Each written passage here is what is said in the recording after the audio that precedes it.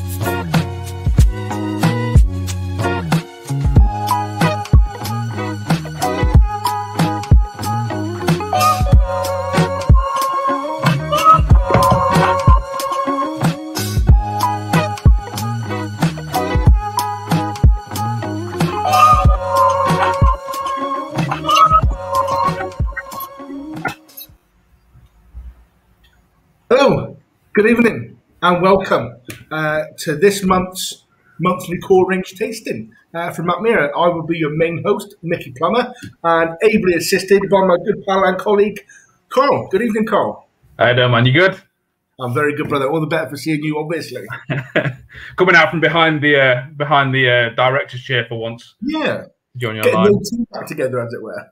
yeah. No. So, ladies and gentlemen, uh, this is our first tasting where we're actually should hopefully be have some of our uh, European uh, fans and ambassadors and stuff like that with us as well this evening. Uh, so, because we've opened up the mackmyra.com site uh, to incorporate all of our business now, really, um, we should hopefully uh, have some of our European friends with us. So, please, um, UK friends and fans and European friends and fans, please let us know in the comments. Uh, say hi if it's your first time, your 20th time, doesn't matter. Yeah, just come and say hi, and uh, we'll hope we'll read out some of your comments. We'll have a good conversation, hopefully, and uh, we'll go from there. Um, but first of all, this evening uh, we do have um, a present for you all, and to say thanks for coming. Uh, Carl, would you like to take us through what the present is for ladies and gentlemen? Yes. Uh, so we've got a deal on tonight. So if you enjoy the drams you're drinking tonight, uh, and especially the Bjorksav, um, if you buy a bottle of Bjorksav, our latest seasonal release, uh, you will get 40% off any other one of our core bottlings. Uh, so you just need to go to mackmyra.com, um, add a couple of bottles into your basket, and use the code Bjorksav40 at checkout. Uh, and that's literally only on until midnight tonight. So make sure you get straight on, um, get yourself a Bjorksav, and then get yourself 40% off any other core bottling. So if you're drinking uh, your whiskies tonight with someone else, a, a, loved one or a family member or a friend, and you're not sure which one you like is your favorite between you, don't pick one, pick both. Uh, so yeah, Bjorksav 40 at mackmyra.com. Fantastic, Cole. Fantastic. So you can't really pass that up, ladies and gentlemen, really. And if you really do enjoy our show this evening, or you're having to miss us for a particular reason and you can't have your drams or whatever, we will be back. Uh, we will be back uh, on Thursday, the 8th of July, uh, to to repeat this tasting. So if there's something you weren't too sure on, maybe we didn't answer a question, or you just want to see some more of us and who could blame you, really? uh, then we will be back uh, on uh, Thursday, the 8th of July at 7 p.m. Um, and also, guys, this is a really good chance as well. Uh, now the world, uh, especially in Europe and stuff like that, and especially in the UK, is opening back up again. Um, it's time if you're a part of a whiskey club, uh, or there's a, a, decent group of you that were former whiskey club, and you want Mackmyra along for a tasting, uh, then drop us a message uh, and let's see what we can do for you. Um, so yeah, so learn a bit more about some maybe some of our other our other bottlings that we're not quite uh, doing this evening. Ah, Gary, good evening uh, to the still. Hi from Sweet. Oh, brilliant! Loads of people saying hello again. I love it. Fantastic, absolutely fantastic, guys. So. Uh, Carl, can you quickly take us through our running order and then we'll hit into the drums? Yes, I can. So, uh, we'll be starting today with the Bruks whiskey. Uh, we'll then go into the Mac, We'll then go into the Bjorksav, and then we'll then go on to the Svensk Ek. Then we'll go on to.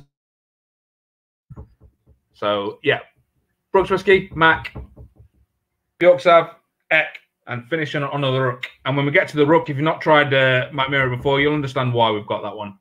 as our closer for the evening. Uh, we're going to be with you for about sort of an hour ish, something like that. Uh, we'll take you through those drams. Um, and yeah, please feel free to chime in with any uh, questions you've got. So, pour the first dram, ladies and gentlemen. Make sure you've got some water handy and stuff like that as well.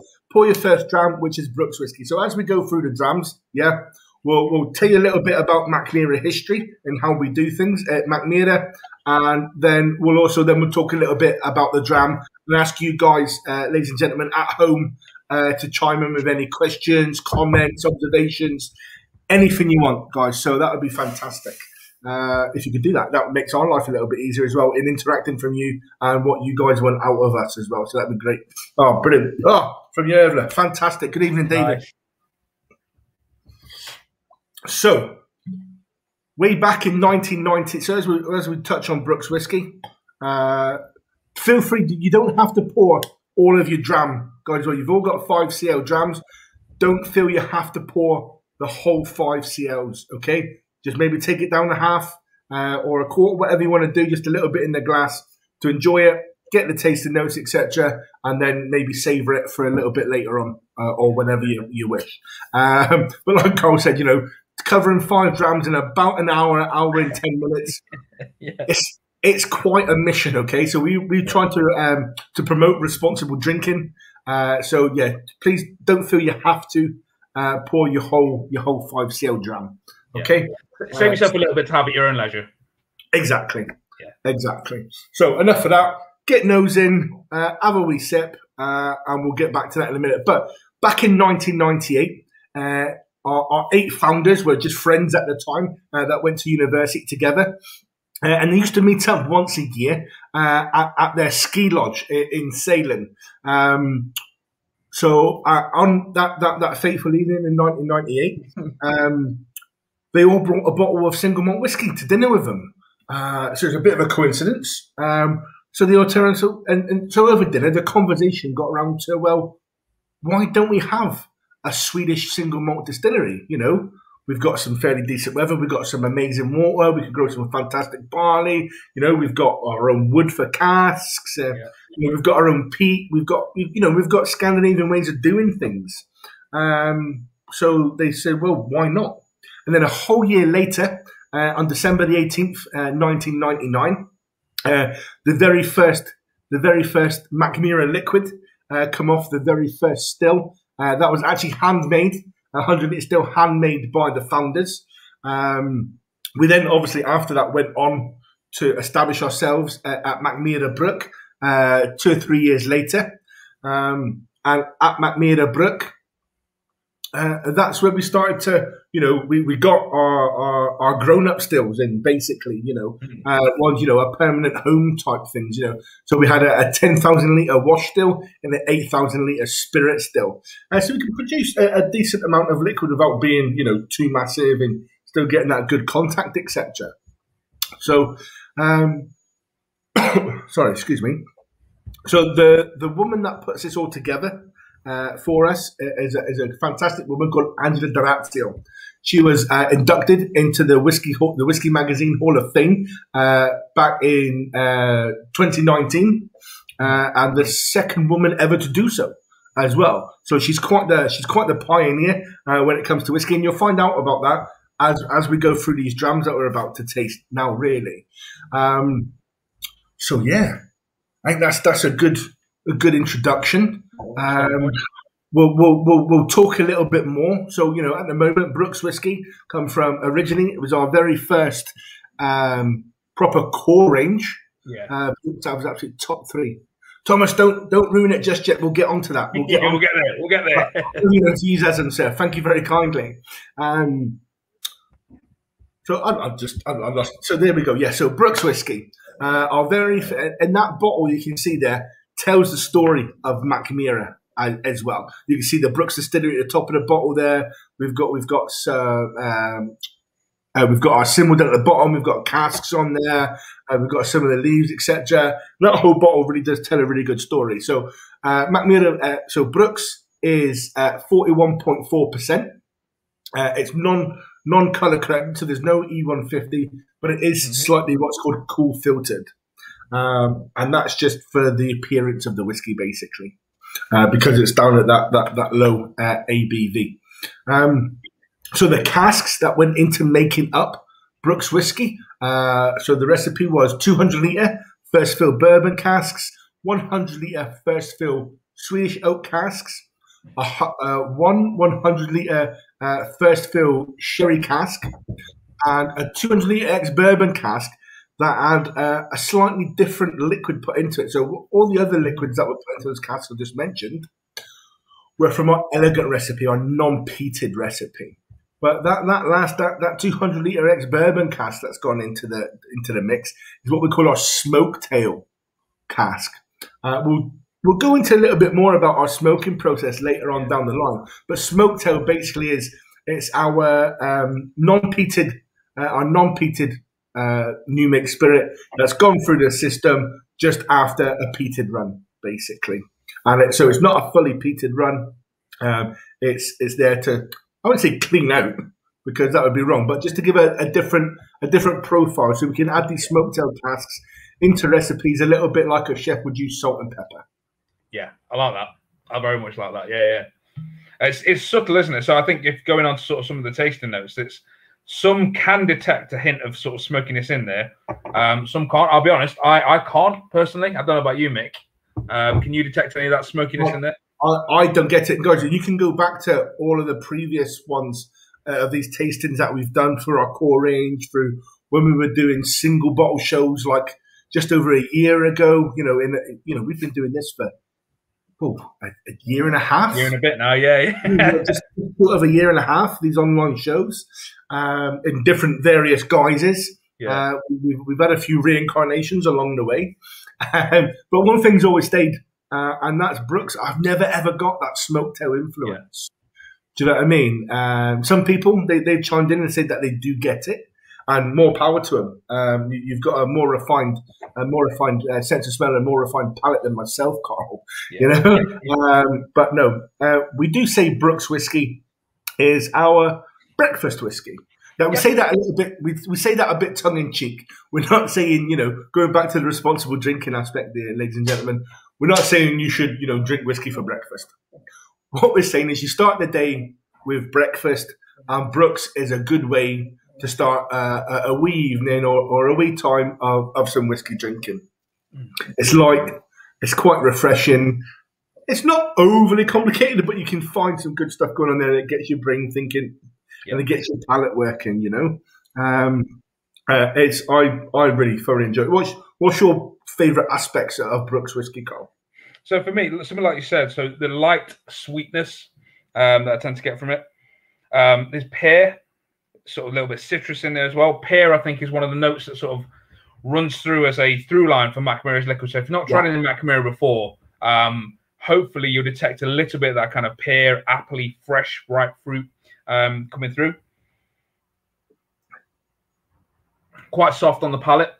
Um, any spice there for you? I think it's it's very very delicate. If anything, Mick. Very very delicate, and I tend to get it more at the back of the palate on the finish. Yeah, I'll agree with that. That's that, that's that Swedish oak cask influence, which we'll talk about uh, as, as when, when, we move on to Svensk a little bit later on. Yeah. yeah. So, ladies and gentlemen, um, what are your impressions of Bruks whiskey? Please, please let us know. Any particular tasting notes you're yeah. getting, uh, things that remind you of. Uh, yeah, please. Uh, yeah. I'm seeing, uh, yeah, the CW. So I haven't seen many of the online tastings. Finally, the mini tasting last Saturday. Welcome to the clan. Uh, yeah, have a had a thoroughly good time. So yeah, I'm glad you enjoyed it. Good stuff. Hola, Craig. Hola. Uh, Craig's tuning in from uh, sunny Costerdale, Kirkintilloch, uh, up here just outside of Glasgow. nice. so uh, him and his business partner run a very good shop. Uh, we we have quite a few uh, quite a few customers that run very good shops, obviously. Uh, but but uh, we mentioned there for Craig at the Spirit of Alba in Kirkintilloch. Uh, so, hola, Craig. Uh, so, yes, ladies and gentlemen, um, that's Bruks Whiskey and a first intro uh, into uh, into Mackmyra, really. Mm. So that takes us up to um, 2011 into 2012. Yeah. Um, and which happily takes us on to the next the next whiskey, Carl. Would you like to take it away, sir? Yes. So, if you're all with us and you're all ready to slide on, uh, again, keep coming, keep coming up with those uh, those tasting notes and those comments you got in the bottom. We'll make sure we try and read as many of them as possible. Uh, so, we're going to slide on to our second dram of the evening. Um, not a massive departure from the Bruks whiskey, and this one is the Mac. Um, so the Mac, yeah. So that's one with a nice uh, turquoise bottle, quite nice, clean, modern design. Um, and this one was made entirely at our Gravity Distillery. Um, which we moved into in 2011. Yep. Right with the date, yeah. There you go. That that shape on the back of the bottle there, Carl. I was trying to put. I was trying to, but failing to point to. Um, there we go. Uh, there we go. Uh, that's the actual shape where you can see on the picture that was just shown up by Matt there. Uh, the yeah. actual shape of the distillery. Um, yeah, and Carl's going to tell us a bit more about the gravity distillery yeah. in the next phase. Yeah, so our, gravity distillery essentially it's the, it's the first uh, of its kind. Still currently the only active uh, gravity fed distillery. Uh, I believe there is one uh, just north of Edinburgh in Leith uh, that is currently being built. Uh, and essentially, the basic principle of um, a gravity distillery is that it uses the natural gravity to assist the distillation process. So traditionally, distilleries are fed horizontally, whereas ours is fed vertically. so we feed all our barley up to the top of the distillery. Um, and then it works its way down through the different stages of the whiskey making process um, to essentially create liquid. And that is a massive benefit for us. And the fact it saves us 30, about 45% uh, energy costs. Is that correct? Am I right yeah, with that so one? Yeah. When, when we did when we did the, the running costs in and the big brains that were much bigger than mine and yours, Cole, when yeah, we did yeah, definitely. The, the proper sustainability and the green aspects and all that sort of stuff of the running, of the Ode Bruks distillery uh, against the running of the Gravity distillery, we were found to be 45% more efficient. Yeah. Yeah. So Which again, one of our uh, yeah, one of, and one of our key ethos is being as light touch as we can in distillery, as uh, carbon um, carbon conscious as we can. Um, and being a relatively new distillery, we do have that freedom to uh, essentially do things a little bit differently and try and have that as one of our key focal points. Uh, Matt, if you just pop the picture of the distillery back up again, I could just uh, quickly quickly show people. So basically, it's seven floors tall, uh, 35 meters tall, and it's seven floors. Um, if you can see right at the top there, we've got our sky bar. Uh, so hopefully, when everything gets back to what we consider normal, you can get yourself over to Gävle uh, and pop up to the sky bar, get yourself a little dram, and have a beautiful view around of the forest all around you. Um, but yeah, you can see in there, it's that's where the process starts and it works its way down through there. Um, we even capture, recapture the heat uh, from the stills and use that to heat the building uh, as well. So again, we're trying as much as possible not to not to use any waste. Uh, in terms of generating that heat, um, the bio pellets we used um, we use bio pellets to actually heat the uh, stills up themselves as well. Um, so I'm drawing a blank there, Mick. Uh, bio pellets. Yeah, so we feed, a bio, we, we feed a biomass burner. To make the bio pellets, uh, we use a couple of ingredients. Uh, one of the main ingredients is what's called a draff. Uh, hmm. So the the the wastage basically after distillation, yeah, uh, all that all that spent grain. It's given us everything that it can do. Uh, instead of going off to feed cattle um, or other biomass burners like it does from other distilleries around the world. Um, we take it and we feed our own biomass burner. We also uh, are carbon neutral. So we're, we're in a forest, uh, as you saw from the pictures there, and we use the trees as filters. So when when one of the filters gets full, um, we, we, we chop that down and use that as, as fuel as well to go into the bio pellets to feed the biomass burner. And obviously, we replant, we, we you know responsibly replant the trees uh, as well. So we've got that sustainability effort and that going on there.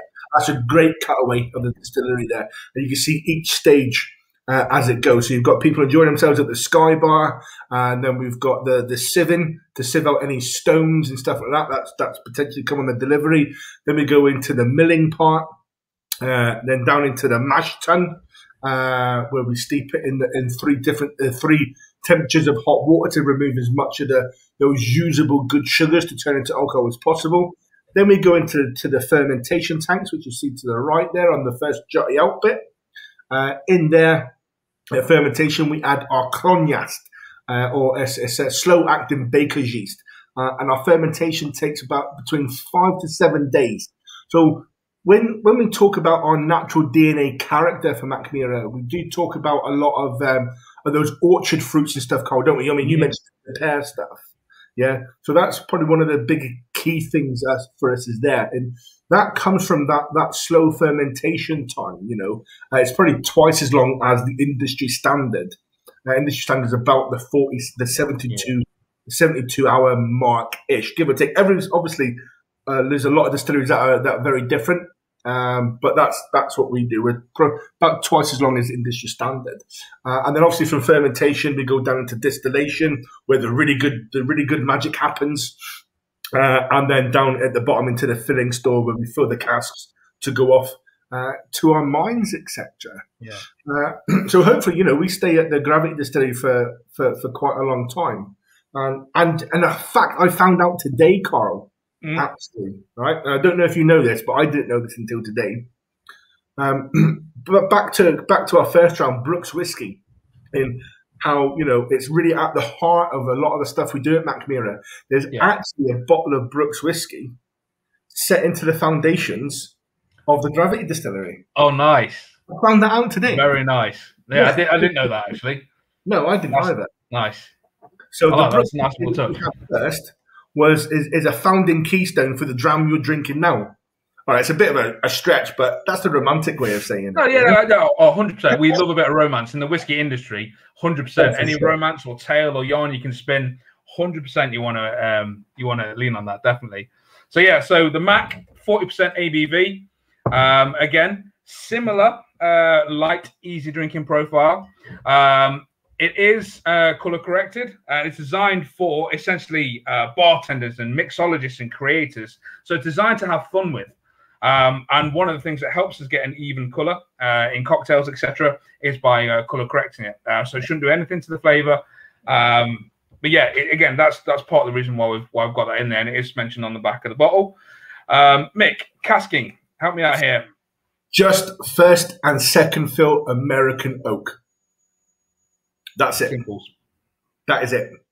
No overcomplicated cast situation. So this is really, really good uh, way of expressing um, what we produce at Mackmyra, Really, you know, this is probably mm. one of our more key things there. So what's come off of the influence influenced this is, is first and second fill American oak.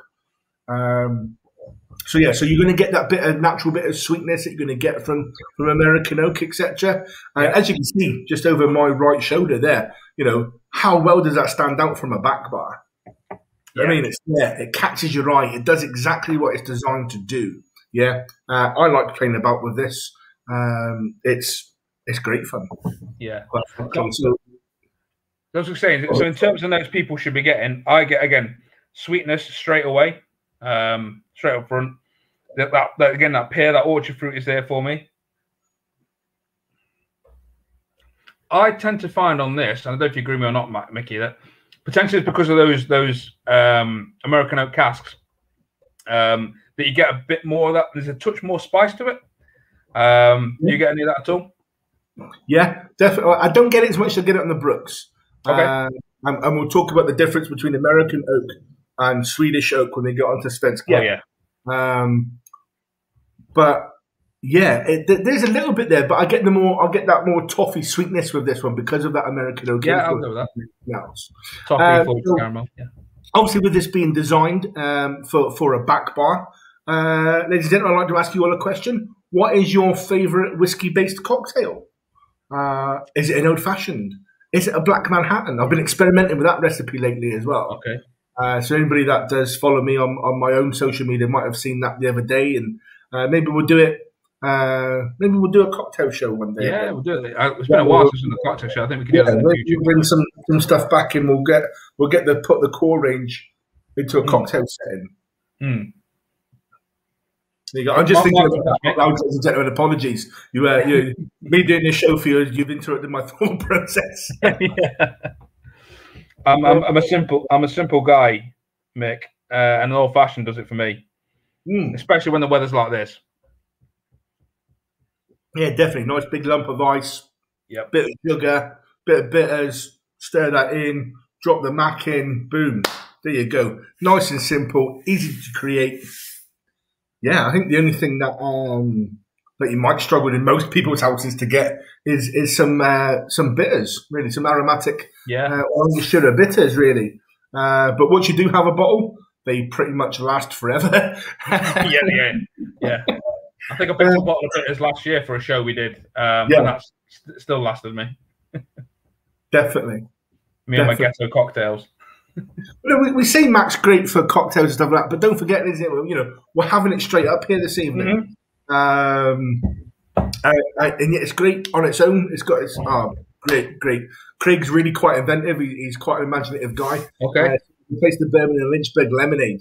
Oh, beautiful. nice. Like it. Like it. Craig, you'll have to let us know what's in Lynchburg lemonade again. Uh, I, my mind's gone blank on that one. I know the name and I roughly know what goes on in it, but please let us know what, what's in that. Yeah. Uh, that'd be lovely. I'm seeing sweet, sweetie, sweetness and spiciness, so that's uh, that's already a win for me. Yeah. Definitely. Well, most definitely. So yeah, ladies and gentlemen, uh, it's great to see some of your comments and that coming in, and it's nice to have some some new people with us and some old people. Uh, and we'll forgive Grant for being late, uh, just because he's a pal of mine. Uh, more than anything else, we didn't know him; he wouldn't be forgiven. But no, only joking. Obviously, uh, you, we rock up, you make some comments, and, and we're all good. You know, we are all good. Yeah. So that's dram number one and number two out of the way, and we're pretty much up to date um, with Mackmyra history there, really, aren't we? You know, we've gone from where we started back in 98, just around the dinner table, to Yeah. the first liquid coming off the stills in 99, um, to moving into our first grown ups distillery in 2002, uh, to then moving into our, you know, our hopefully future proof. Um, our future proof and uh, more sustainable distillery uh, at, at uh, in the Whiskey Village, just outside of Gävle, uh, at the Gravity Distillery, the world's only working Gravity Distillery at the moment. Yeah. Um, There isn't splendid. yeah. So you know, so that's t- that's two whiskies we've had now, Carl, out of our Yeah. what we call our core range. Yeah. I was going to say just before we move on, when I was looking around the uh, the Bruks whiskey bottle, um, which is like like you said, like there's, there's loads of the story going around the outside of it. So if you do pick up a full size one, it's definitely worth having a good old look around it. Um, but I saw these little orange orange uh, markings on the Bruks whiskey bottle, um, and if we uh, if we can see them there on the camera, let me see if I can get them there. Uh, there we are. yeah. Um, Mick, have we have we been over uh, what they represent? no, we have not. Would you care to tell us, Carl? Uh, I can. If I can, I just I didn't want to jump in in case I had it like saved up for. No, I don't have it. later on the show. So yeah, so Mac Mira, uh, break it down into two. Essentially, translate into Midgie and Bog, as in the simplest terms. So I hope everyone joining us tonight has enjoyed the first two drams of Midgie Bog or Midgie Swamp. Um, it obviously sounds a lot more elegant in Swedish than it does in English. Um, but yeah, that's essentially the origin of the name. And it just reminded me, I saw the little uh, the little midges on the um, Yeah. on the side of the bottle that reminded me. Um, so yeah, just think a great, a great. No, I, I uh, completely forgot about doing the Yeah, that's great. actual meaning of Mackmyra. yeah, Uh, so thanks for thanks for that. Uh, and obviously Bruks whiskey. Bruks means like uh, useful, industrial, uh, versatile, and that's pretty much what the Bruks whiskey is. Do you know what I mean? You can use in quite a lot of things. It's it's there. So Craig's give us his recipe for an Lynchburg lemonade. Uh, so we've got some triple sec, lemon juice, uh, and Craig likes to make it longer, especially on nice warm days uh, with lemonade. nice. Sometimes find a dash of cherry bitters also.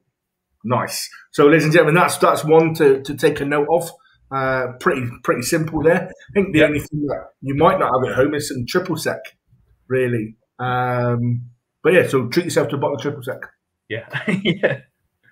That brings us up to. Shall we uh, slide on to our Björksav our latest seasonal, Micky? We shall, we shall. With with Björksav, so we've mentioned already that uh, we're going to cover two out of our three ranges this evening. Our core Mm. range, our seasonal range is what we're going to cover. We've also got our moments range as well, Yeah. uh, which we just released a new one of.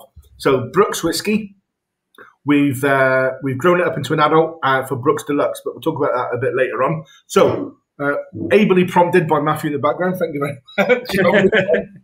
Björksav. So Björksav. Björksav um, means uh, birch sap. Yeah. So uh, the, some of the casks that went into making this up were birch sap wine casks. Um, So this is this is our, our normal standard uh, forty six point one percent. Uh, the majority of Mackmyras you'll come across mm-hmm. will be 46.1%. In fact, going from now on, the remaining three whiskies of the season will be 46.1%. That's always quite handy to have the water knocking about just in case.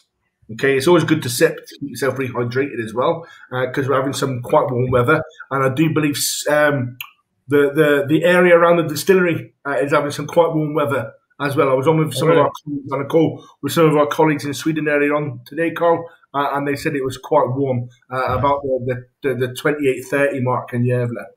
Nice. Mm. Which is obviously it's an, really quite warm. Yeah. yeah. Uh, so yeah, so the seasonal range. Um, before we start in with that, uh, Matt, have we got the video, the Björksav video?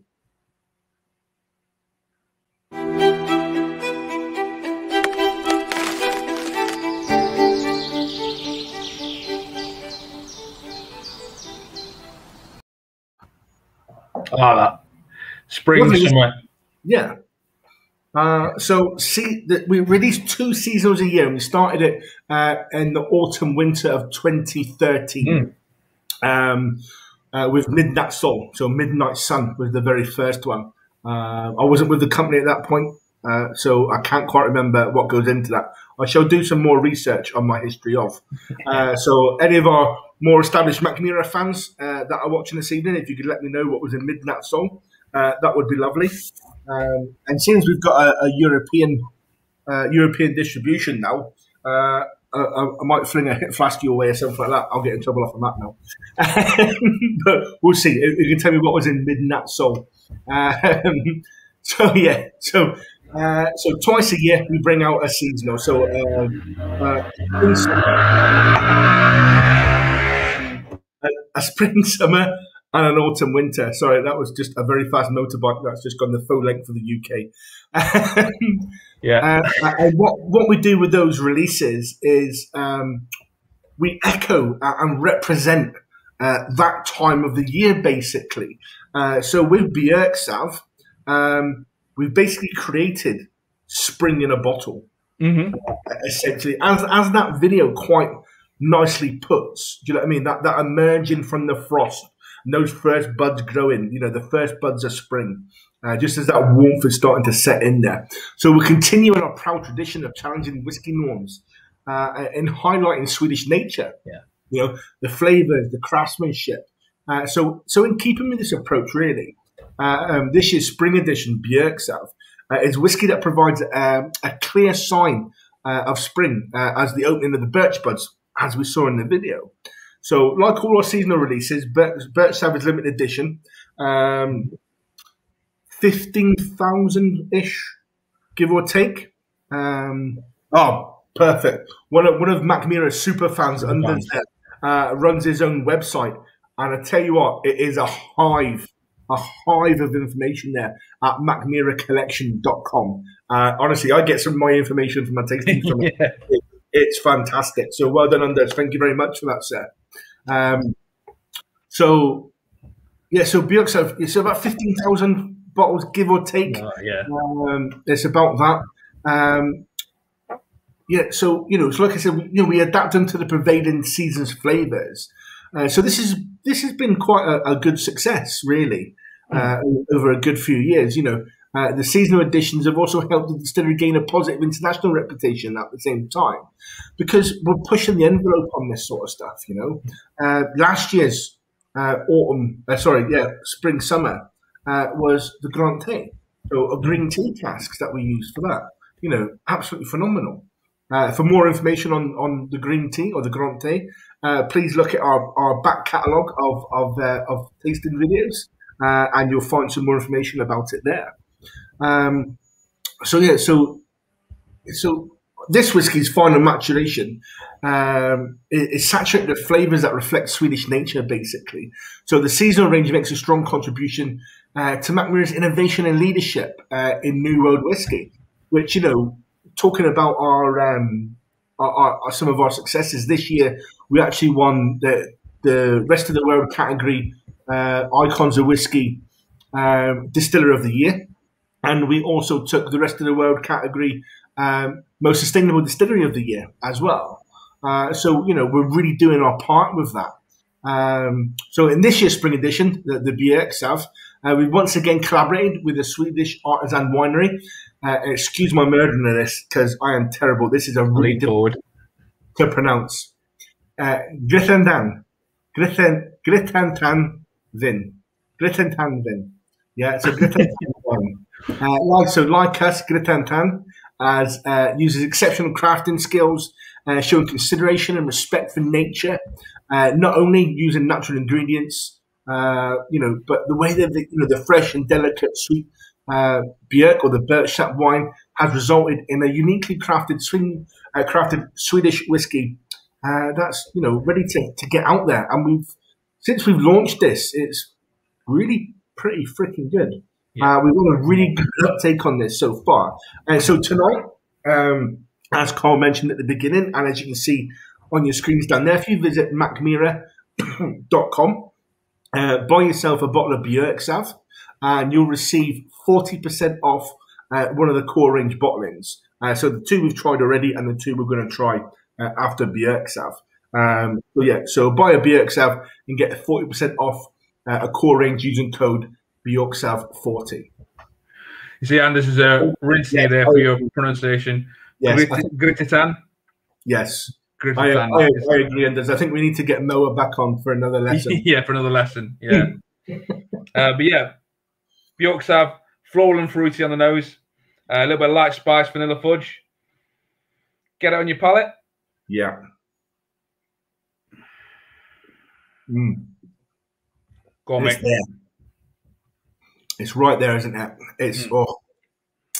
fruity, spiciness, quite mouth-filling. You should notice the higher ABV versus the first two we tried as well.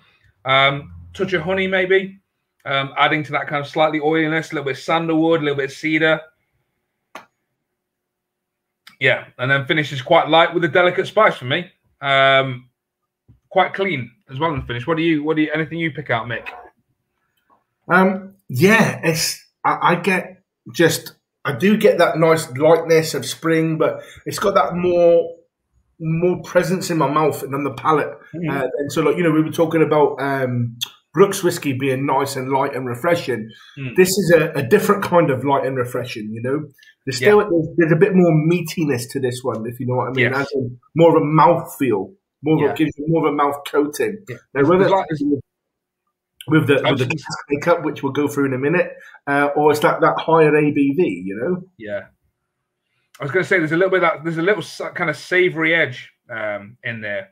Um, yes. A little bit of a kind of an X factor in there, and uh, yeah, again, if if feel free to comment in, sort of chime in what your thoughts are on the uh, on the Björksav. If you're noticing that higher ABV, if you're noticing some of those floral fruity notes, or perhaps if you're noticing um, that slightly different, slightly savoury note, what it what it sort of uh, what it means to you, or what it kind of jumps out to you. I think we've had some interesting interesting takes on what that note is uh, before. Yeah, again, under saying Björksav's great, one of the best seasonals yet, and there have been many good seasonals over the year. And he is the authority on it. To be He's, he's been drinking it longer than I am. He is the non-Mackmyra employed authority on that one. yeah. Uh, so, so as of as of this year, as of Björksav, the release, mm. um, we're all about.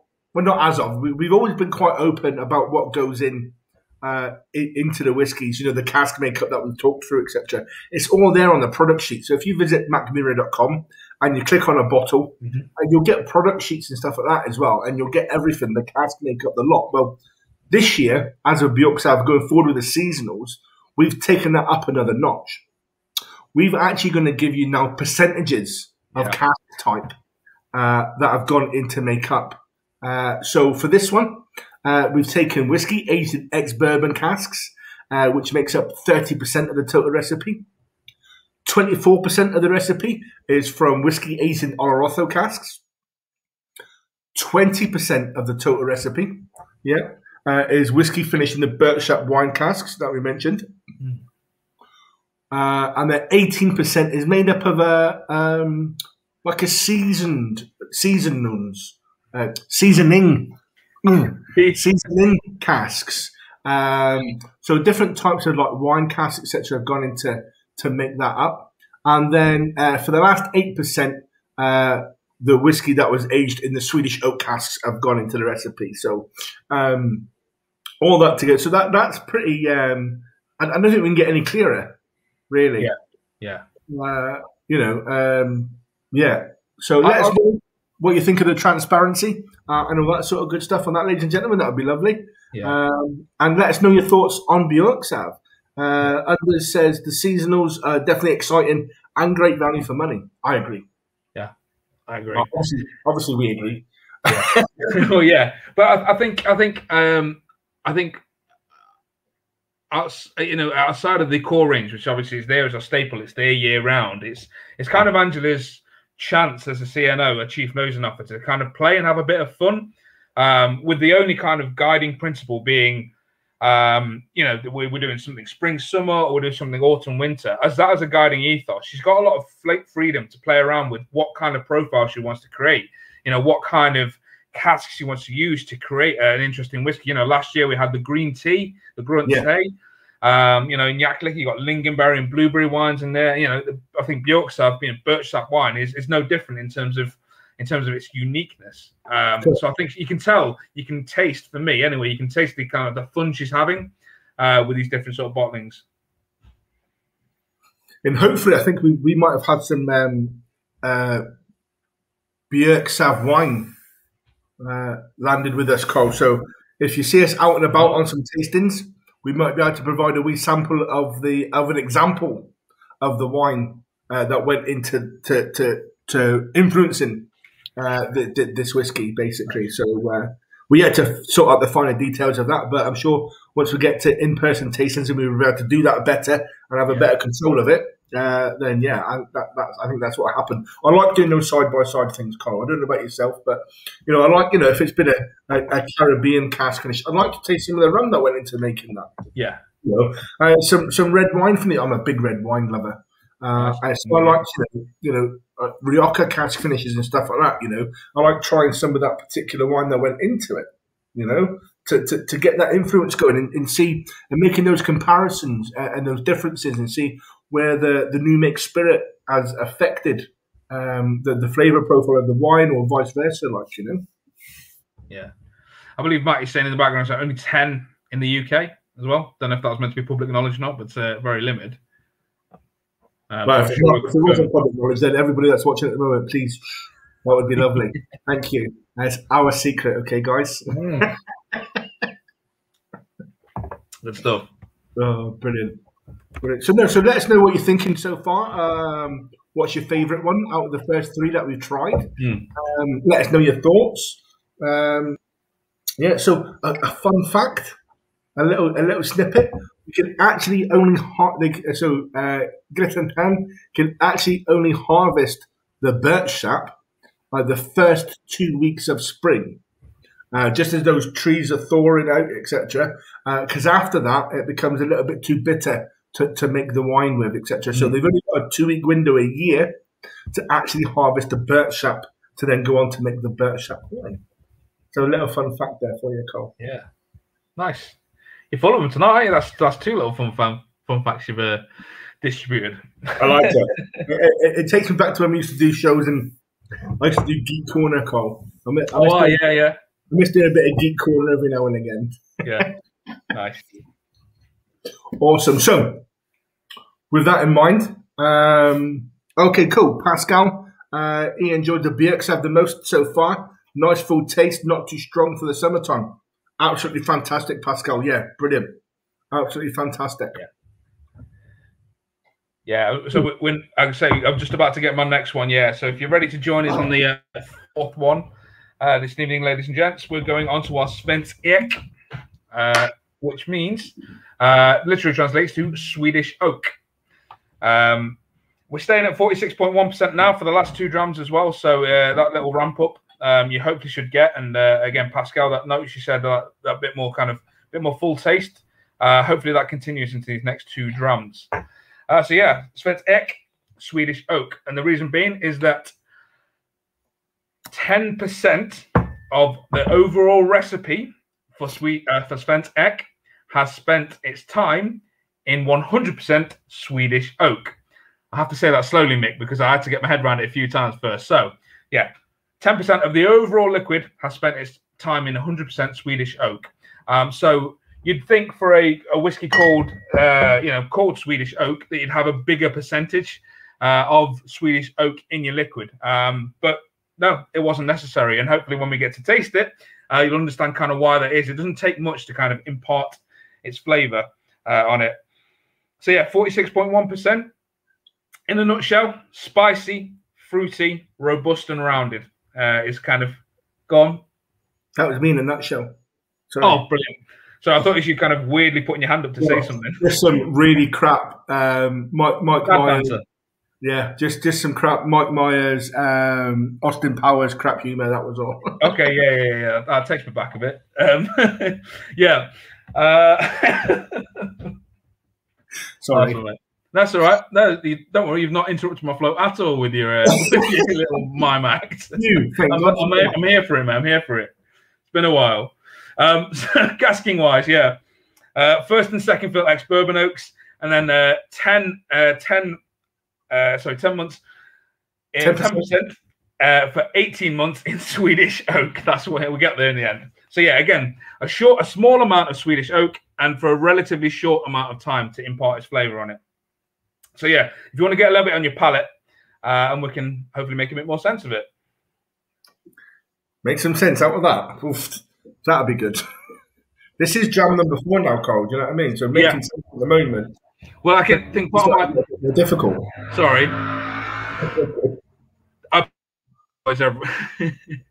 I apologise for the background noise. I've had my window uh, open because it's been quite warm, and usually live on quite a quiet street, but apparently we've got motocross trials going on this week up and down the road. So always the um, Always the uh, yeah, I didn't get the memo, so I do apologise for that. They never check um, our online diary that you can find online at mackmyra.com. Yeah. they, they need to start checking these things out, Cole, really. yeah. Uh, so if it does happen again, Mick, you'll just have to take over and I'll, I'll pop myself That's on mute. Um, but yeah, hopefully, uh, if you've had a little sip of that, you should find that it's a little bit more robust, a little more mouth filling. You've got a little bit more kind of spiciness in there, certainly wood spice, sandalwood, uh, possibly a little bit of white pepper, black pepper, um, depending on where you lean. I tend to get a little bit black. Uh, I think Mickey, you tend to get a bit of white pepper, don't you, on this one? I am, yes. Yeah, That's yeah. Get, yes. Um, but again, there's still sweetness in there as well.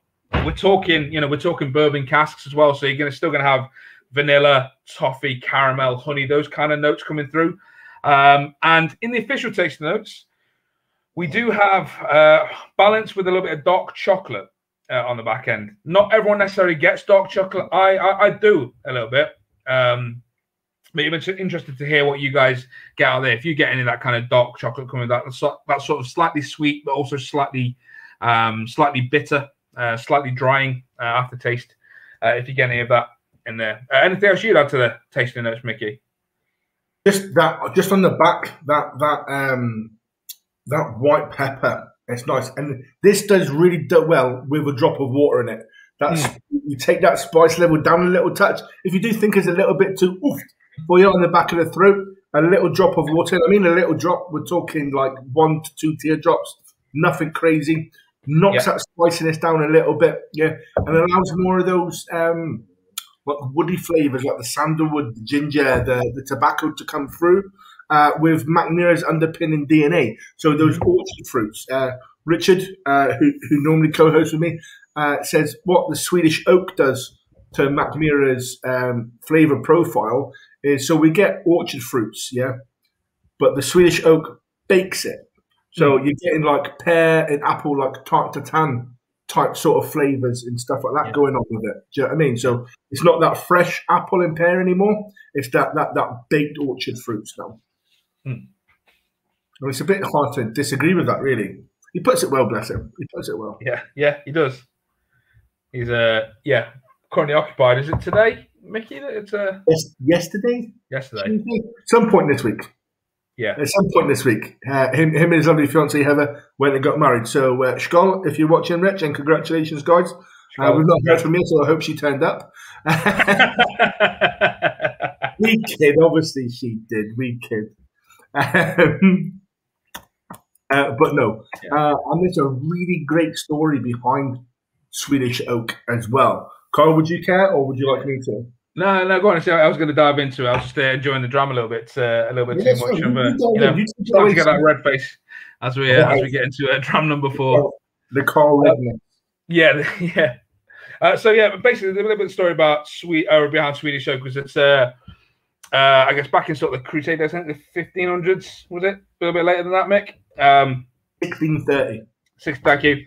Uh, the Swedish king essentially sent out um, emissaries to go find somewhere suitable uh, to plant a load of oak trees um, because at that time uh, ships were made of oak. Uh, and oak broadly is a good uh, hard wood uh, to make ships out of. It's big, it's strong, it's not super knotty. Um, yeah, as you can see in the images there. So that would have been great for ship molding. Um, so found this little island that was perfect for it, Visingsö Island, uh, where planted um, thousands and thousands of oak trees um, on that particular island itself. Um, I thought, right, cool. The trees are planted. We'll come back to that in a little bit. Um, let the trees grow nice and tall and strong, and we'll we'll, we'll have the uh, we'll we'll harvest the wood and make our ships with them. Problem was, by the time they got around to harvesting the wood, we'd had ourselves an industrial revolution, and ships decided to be made of metal instead. Um, so you've got all this wood um, that was not necessarily the most useful for shipbuilding at that point, but never fear. Um, all that wood is still handy for making furniture, for making um, whiskey casks, um, and all that other good stuff as well. Um, so not, it didn't go to Imagine waste. that. Those nice big long bits of wood for floorboards. How Yeah. much easier would that make your life? You know. Yeah, exactly. Um, yeah, and that's that's essentially it in a nutshell. Um, anything else you want to add to that? No, I'm just back on that show again. Back Sorry. I'll, I'll, I'll get up on that show. No, seriously. Yeah. uh, but no, uh, one of the really interesting things. So you know, even back then, uh, the Swedish people were quite innovative. So to grow these trees massively straight, yeah, uh, like ridiculously straight. In, in all fairness, if you were to look at like a, a Swedish oak tree and compare it to like a, a British oak tree, Yeah, you wouldn't think that they were the same family um, or come from a, a similar sort of family um, because they're they are unusually straight and unusually tall. Uh, so, like Carl said, you know, they took like 150 years to like sort of get there from original. Um, but what they did actually in between the rows of oak trees uh, back at the time, they actually planted other sorts of uh, trees as well, like uh, birch trees, silver ferns, all that type of stuff. Sorry, excuse me. Um, to to make those oak trees and grow straight and fight for that sunshine. Yeah. you know, uh, to and, and that was that was the technology then. So you know, uh, at Mackmyra we we've carried that that innovation on. We like to think, you know, and that's one of our Yeah. our three pillars that we stick to. Really, you know, innovation, sustainability, and Swedishness. Yeah. Uh, and we're talking a bit about more about our unique twist on Swedishness uh, on our last dram. But no, so guys, let us know what you think of uh. I think it's probably our, our flagship, what we call our flagship dram. yeah, And just to remind you, it's 46.1%, uh, natural coloured, non chill filtered. Um, so, yeah, please let us know uh, your thoughts. I was going to say one thing I missed um, when I was sort of giving the uh, the background to the bottling as well is that you know I guess why Swedish oak um, is is an interesting point and what that does to the liquid. Um, so essentially, Swedish oak because of the uh, the latitude it kind of grows in, it's a much harsher climate for the wood to actually grow uh, compared to like North American oak, for example. Um, and what you tend to find as a result is that there's less um, xylose and lignin within the oak. Um, so yeah, you can see the grain grows differently. It's tighter, it's firmer. Uh, it's a lot harsher for it to grow. Um, so you get less wood sugars um, in there. Um, and as a result, that's why you get, from a flavor perspective, uh, hopefully you can pick up in the liquid you're drinking. That with North American oak, you get more sort of vanilla, caramels, fudge, butterscotch, that kind of thing. Whereas when you get European oak, um, you get a few more of those kind of um, kind of sandalwood, like anise, toasted bread, like those kind of slightly more, slightly more bitter, uh, slightly more kind of um, savory notes kind of coming through uh, on Yeah. that. And don't forget, this is only ten percent. Uh, spent its time in 100% Swedish oak cask, so you can imagine what a 100% Swedish oak um, cask whiskey uh, would taste like, for example. Um, and if you're interested in being part of our cask program, you actually can do that as well. Uh, I can see your eyes light up there, Mickey, when I mentioned that. So yeah, if you if you want to experiment what that would that would taste like, um, pop onto mackmyra.com and uh, uh, check it out. Yeah, so we've got some uh, we've got some private casks that are ready to go now that have been done in Swedish oak, and obviously you can join the reserve cask program as well, um, which you know is thirty liter casks, so it's an affordable way uh, of becoming a cask owner. Uh, basically, on the reserve cask program, you Yeah. choose the liquid uh, that goes into it. So the recipe, whether you want elegant, uh, smoky, extra smoky, uh, pre-stored, um, smoky and non-smoky, to then go into your your your wood of choice, whether that be Swedish oak. Uh, we do a thing called an ambassador's cask, uh, which is a, a, a combination, uh, beautifully put, uh, a combination of bourbon, uh, of bourbon, ex-bourbon staves and Swedish oak ends. As you can tell from that picture there, those Swedish oak ends are, are very heavily charred and scored into to make the surface area of the wood greater. Uh, and it's done by that that absolutely handsome man right there, uh, David Anderson, our Cooper, um, at, da- down at his Cooperage, fourth generation Cooper. Uh, that is literally my, my heart just melts and my legs every time I see that picture. I've been seeing that picture for months and months and months now. Yeah. They're my favourite. So there's David in all his handsome glory.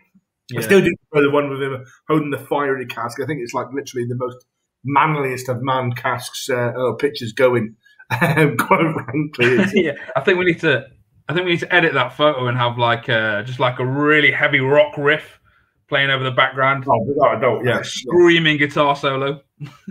yeah. I think Carl, when we get to make it over to the distillery, we pop down and see David at the Cooperage. I Yeah, think we'll have to reenact it. I think. Uh, Yeah. Sensibly, obviously, because that is actual proper live fire. That's, that's you know that's that's no messing about. That that's no uh, Photoshop job, no nothing like that. Like you know, so Yeah. I don't really want to like burn my face off literally, but to reenact that with, with that, I think that would be pretty cool. I think. Yeah. So, like I said, the the the, the Svenska Ek does take a drop of water really, really quite well, guys. Uh, so don't be afraid to uh, to do that. Uh, and actually, it was Svenska Ek I used the other day um, with for a Swedish twist uh, on a Black Manhattan. Um, so, and that was just fantastic, quite Mm. frankly. Uh, so, a black uh, uh, a Black Manhattan um, is so do the Swedish twist. Uh, you'll put in um, 50 mil of uh, Svensk Ek, uh, 25 mil uh, Amaro Montenegro, um, a couple of drops of orange bitters, uh, and then it's a stir down as opposed to a shake up. So put that all into a pint glass, a container, whatever you want, over some ice. Give it a really good stir for about a minute or so until you get a really good cold effect, and then strain it into a nice champagne coupe and um, garnish it with well a, a cherry, I suppose, if you wanted to, or whatever you fancy. Sometimes I don't bother, uh, but no, highly recommend doing that. It's beautiful, really is very nice indeed. So, I think that nicely takes us on to um, to our last dram, ladies and gentlemen, uh, to the Svenska Rök. Um, I better pour some, really. So, It would help. Or Swedish smoke. Um, 46.1%. Yeah. Um, it's quite smoky and herbaceous. And if if you've never tried this before, or Swedish this our particular Swedish peated whiskey before, um, you're going to find a massive difference um, to any other peated whiskey you've you've, you've tried before, really. Um, and I'll just and I'll, and I'll tell you about that why as as we go on into the talking points in a little bit. Mm. But uh, yeah, so just absolutely fantastic jam. If you do not enjoy peated whiskey, please do do give this a try. Okay, Yeah. this is what we call uh, probably like a gateway to peated whiskey, if you want to you know phrase it like that. But no, it's a really good introduction to peated whiskey. Uh, it's not got that big medicinal note that hits you in the face uh, like some uh, other more uh, more famously known peated whiskies do. Um, but no, so on the nose, straight away you can tell it's a bit smoky.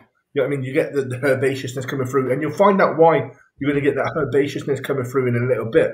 Yeah. Um, so we've you know we've not used big casks for this. This is why this bottle comes in a 50 cl or a 500 ml bottle. Uh, it's a smaller batch, limited batch runs for a core range. Um, and we only use casks from. So we use casks of 30 liter, 100 liter, and 128 liter, and we use American oak, ex bourbon casks that were saturated with Oloroso, and Swedish oak casks in there as well. And it's a it's, it's quite a winning combination. I'll be honest with you.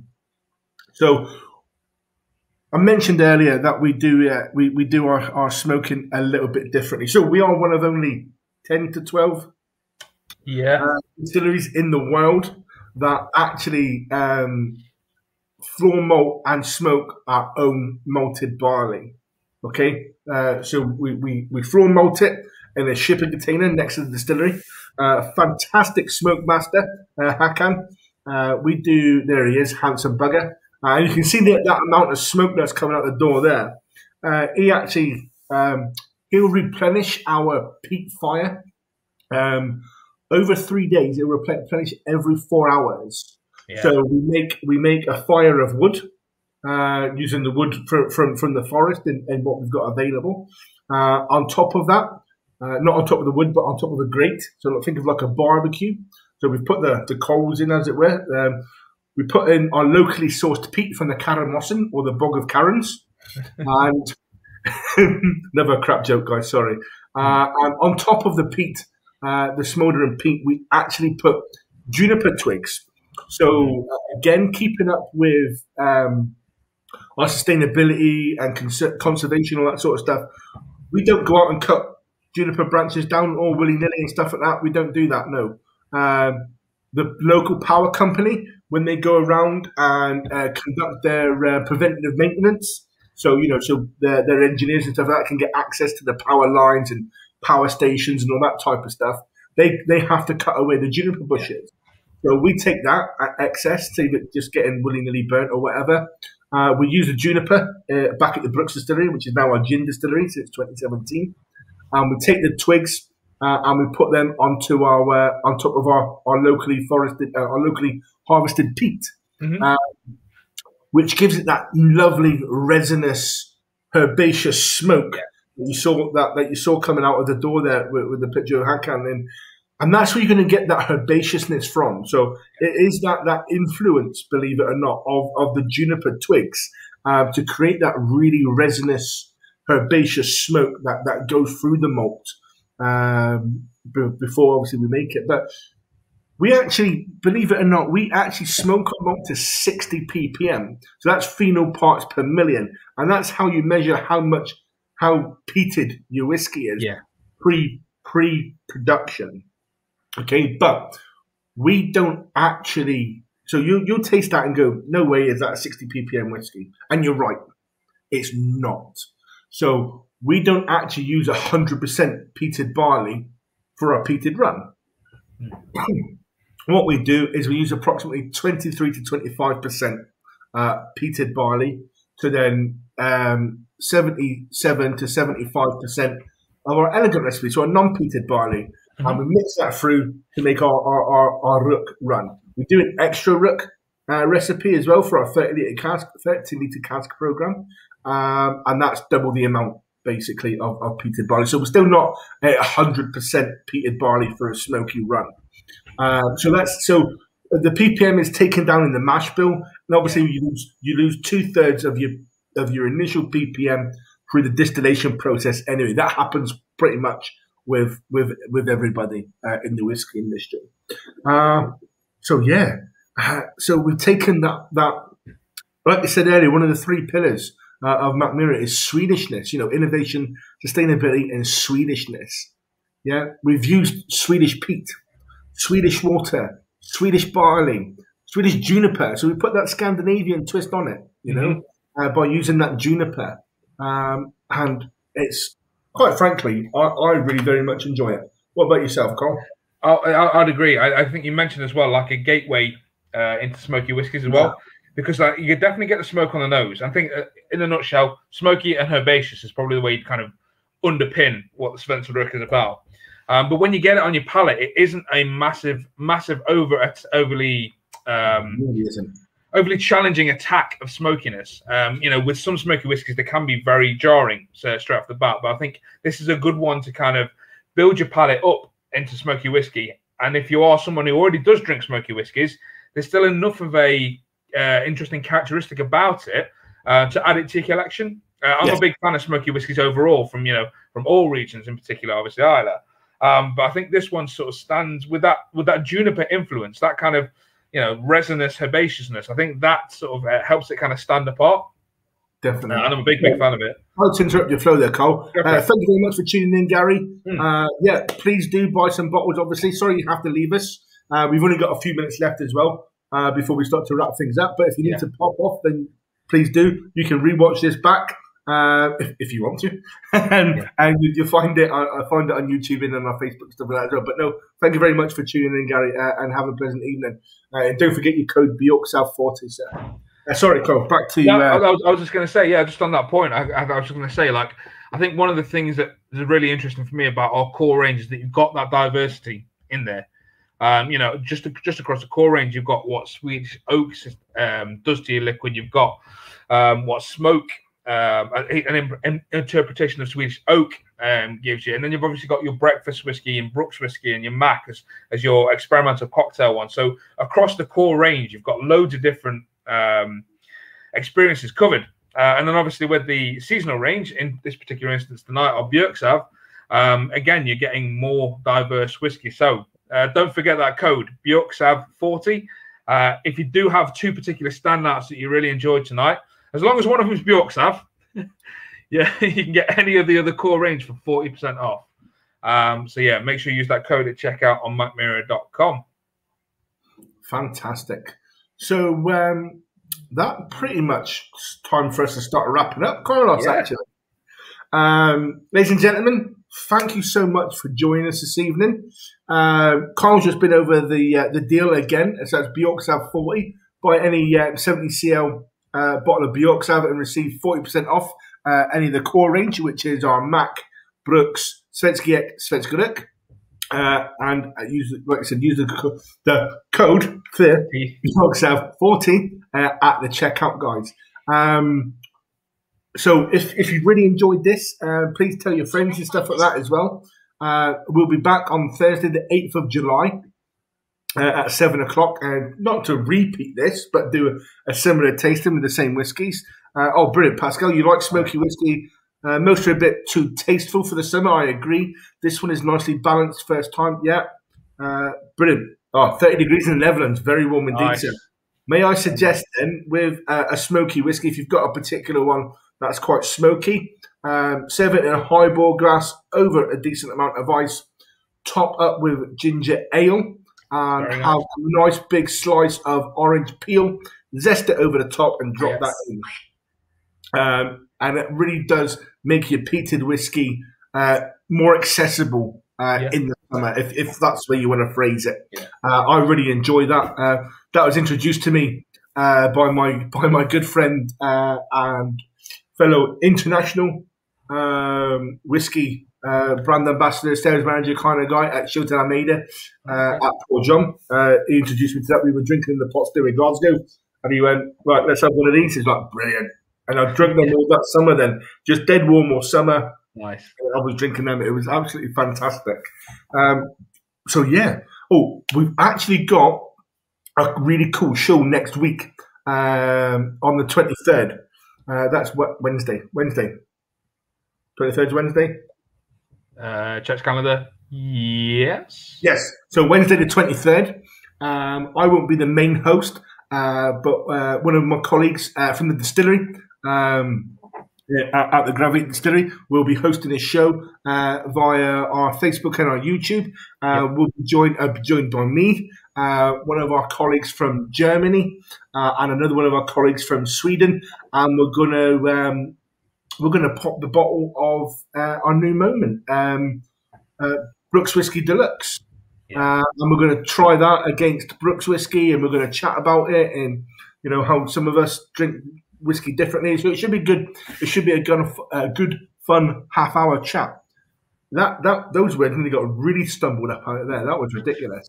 So that should be a really good. So that's next Wednesday as well. And then, like I said, we'll be back on Thursday the 8th at seven o'clock for um, not a repeat performance, uh, but uh, a similar, hopefully, looking yeah. performance because consistency is key. so yeah, so join us for that. And like I said at, at, the beginning, ladies and gentlemen, if you are part of a whiskey club, um, especially from the UK, uh, please, and you want us to come and do a tasting for you, please let us know. Uh, we'll be in touch and we can sort something out. Our unders, fantastic, sir. Thank you very much. So if you are considering a reserve cask, Under said, the combination of the Swedish oak and the smoky whiskey is fantastic. Yeah, yeah, yeah. Can cannot disagree with that whatsoever. Uh, so, guys, thank you so much uh, again for your interactions this evening. It's so great to see people uh, from just outside the UK uh, joining in. Uh, it's been lovely to have you. Some lovely interactions. Thank you kindly. Uh, Carl, any last words from yourself, sir? No, just uh, thank you for having me, Micky. Thank you for bearing with me, uh, and I'll go to my usual hovel behind the screen, uh, hopefully controlling you and uh, you and Rich very, very soon. Fantastic. No, I've been an absolute pleasure to have you, sir. Uh, it's, it's nice to have you back again. Uh, so, ladies and gentlemen, again, thank you very much for joining us. Please enjoy the rest of your evening. Hope you enjoyed the drams. Skål. Skål.